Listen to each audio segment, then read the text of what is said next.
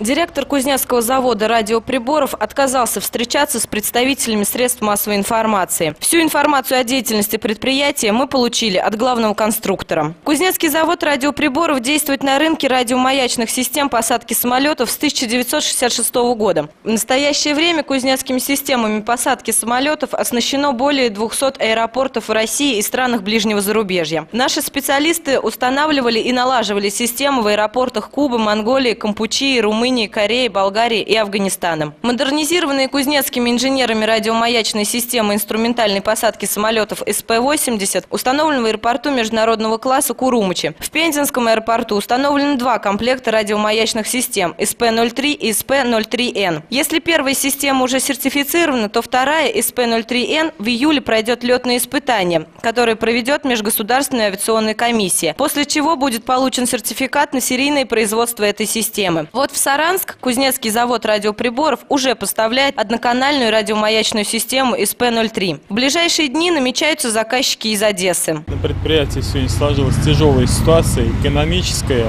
э, и особенно с выплатой заработной платы. Э, сегодня руководством предприятия делается э, ряд, проводится ряд переговоров, которые должны привести к получению заказов.